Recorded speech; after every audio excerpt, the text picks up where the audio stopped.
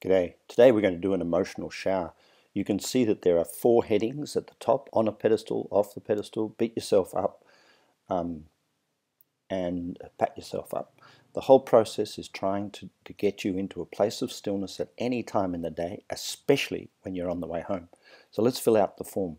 Firstly, we start uh, with a whole lot of things that you did good today. So I finished a video, I did a podcast, I met six clients, I created a new presentation, I don't know, uh, completed another 30 day person, uploaded a new presentation, um, took a friend to lunch.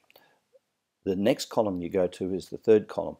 You know, I spent $400 on a busted TV that didn't work. I wasted a heap of energy on a script. Um, made a spelling mistake. I didn't do my burst training till late in the afternoon because of a morning start. I skipped lunch.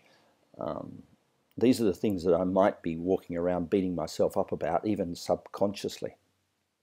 Now, the important thing is really simply to go back and find the benefits of the, the downsides of the upside things. So, finished a video, I probably uh, rushed it a little bit at the end. I did a podcast, I could have scripted it better, met six clients, I took too much time with one of them. Um, uploaded a new Prezi, the audio needs attention, took a friend to lunch, which is low value.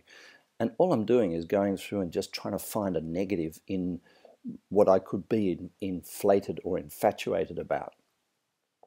So the whole objective of doing this is to make sure that um, I don't get up myself or down on myself. I don't want to put this responsibility onto other people in my life.